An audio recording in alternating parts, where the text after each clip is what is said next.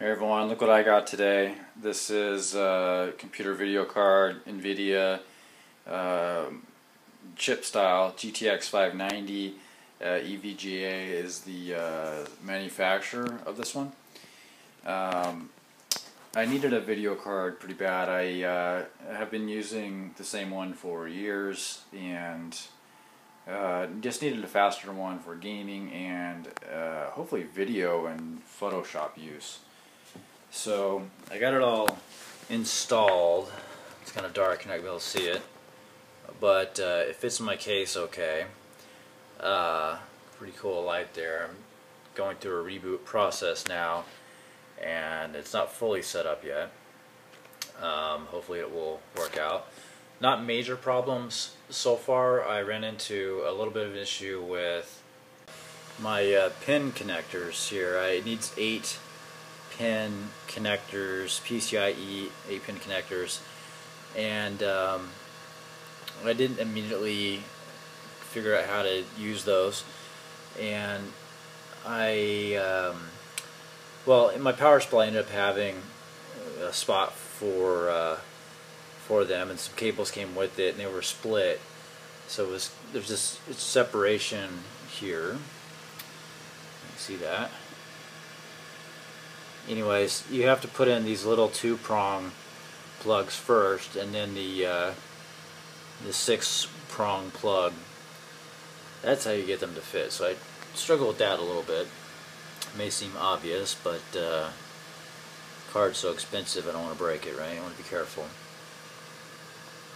So I'm running it with uh, Cooler Master's 700 watt power supply, which is the the minimum watt. So I uh, that's that's an area of concern so far. We'll kind of monitor that. The card says it will support that amount of watts. Uh, we'll see. May have to upgrade the the uh, power supply later today.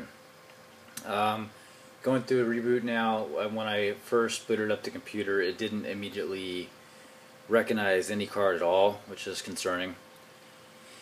But uh, so I uninstalled the old drivers, installing the new drivers, even though my old drivers seem to have newer versions than the CD, so we're just going to start new. You can see the card fit pretty well in my case. This is the Corsair, I think it's the 600T case, a mid-tower. It's a mid-tower, but it's really big. Now it's going through, um, going to reinstall. It's putting on version 267.91. I added a 2.8 version, 2, 280, so I know what's going to happen. They're going to install these. It should recognize it, but I'm going to have to reinstall a lot more drivers after this, so it's going to be a while. So, stay tuned. So a little bit more details about my machine here.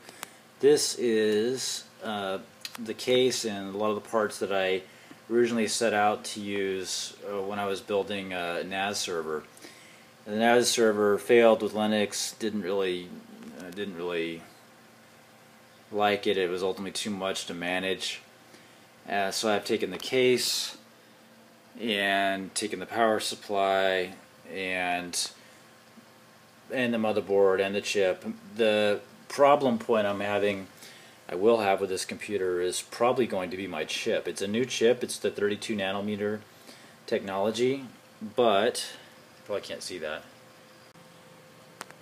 But the chip is an i3 uh, chip, so it's uh, one of the slower uh, chips. But in my favor is that the chip speed is pretty fast. Uh, 3.2, 3.3 uh, speed, so you know uh, I'm making up for maybe not the fastest i7 or i5 chip, or, many cores rather, uh, with the higher clock speed.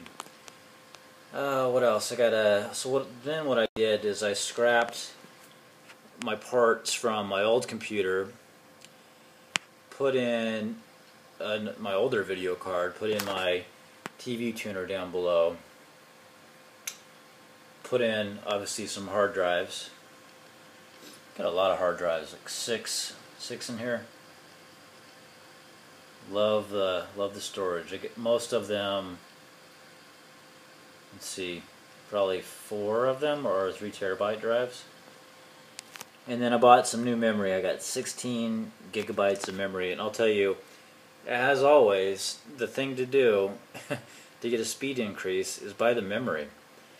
Memory is relatively cheap nowadays, and the 16 gigs was just seems like a lot, but really it wasn't that much dollars, and I could tell automatically that in Photoshop and especially Lightroom, my Lightroom program is just astoundingly better to use. So that's pretty cool.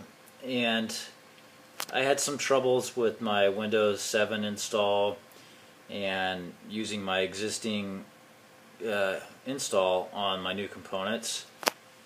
Ultimately, I couldn't restore or use that copy. I had to basically reinstall from scratch, so that was kind of a drag. But now that it's done, I'm happy I did because it's clean and I got rid of some system problems I was having.